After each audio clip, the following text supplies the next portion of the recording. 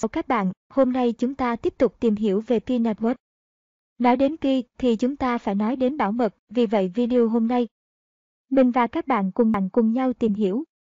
Vòng tròn bảo mật Key Network là gì? Cách tạo vòng tròn bảo mật. Việc tạo vòng tròn bảo mật Key Network là vô cùng quan trọng vì nó giúp tài khoản của bạn đào key với tốc độ nhanh gấp 2 lần, đồng nghĩa với việc số lượng key bạn khai thác được nhiều hơn gấp 2 lần. Các bạn nên chọn ra và thêm 5 số điện thoại trong danh bạ của bạn hoặc bạn bè bạn đã tham gia key, vì đó là các số điện thoại tin cậy nhất. Họ không đời nào bỏ ki giữa chừng, vì họ tin chắc ki sẽ thành công. Nếu bạn thêm người bỏ ki giữa chừng, thì bạn sẽ bị mất 0.04 ki trên giờ. Mà người đó đóng góp cho bạn từ vòng tròn bảo mật. Sau 72 giờ đào ki, bạn có thể kích hoạt vòng tròn bảo mật ki Network. Vòng kết nối an ninh bao gồm những người mà bạn tin tưởng và quyết đào key đến cùng không bỏ giữa chừng và không thực hiện những hành vi gian lận. Ví dụ như đào key gian lận, đào key bằng nhiều tài khoản giả mạo, tài khoản clone.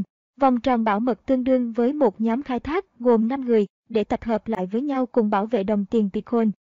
Nếu bạn đã mời được 5 người trở lên, bạn có thể chọn ra 5 người bạn tin tưởng nhất và thêm 5 người đó vào vòng tròn bảo mật của bạn. Khi đó vòng tròn bảo mật của bạn đạt sức mạnh 100% và tài khoản của bạn được phát huy tối đa tốc độ đào Pi. Điều này có thể cùng nhau tăng tốc độ khai thác Pi của chúng ta một cách hiệu quả. Kích hoạt vòng tròn bảo mật.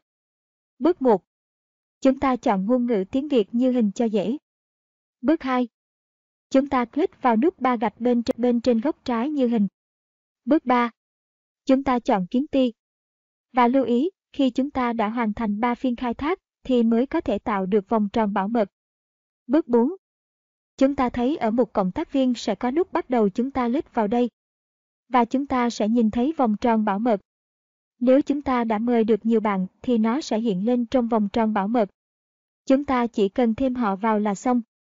Lưu ý là ưu tiên bạn uy tín nhé. Nếu chúng ta chưa mời được bạn bè, thì chúng ta có thể xin các số điện thoại trên hội nhóm những người đã và đang đào key để thêm vào vòng tròn bảo mật. Nhớ là chỉ add 5 người mà bạn tin tưởng và bạn tin rằng họ sẽ quyết tâm đào key đến cùng thôi nha. Sau khi làm xong, thì sang phiên đào tiếp theo của ngày hôm sau tài khoản của bạn mới được tăng tốc độ đào key nhé. Chúc mọi người thành công!